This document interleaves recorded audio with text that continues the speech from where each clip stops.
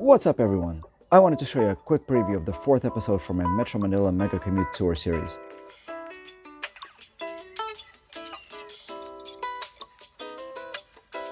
In this one, you'll see me take a whole list of public transportation types from Antipolo to visit the Malacanang Presidential Palace, followed by Rizal Park, before heading back home to Bonifacio Global City.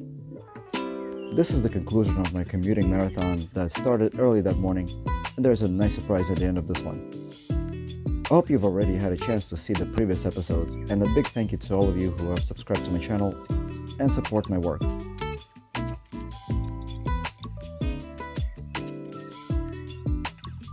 Stay tuned by enabling notifications, and there will always be more fun and exciting videos coming at you from the Time Lapse Traveler.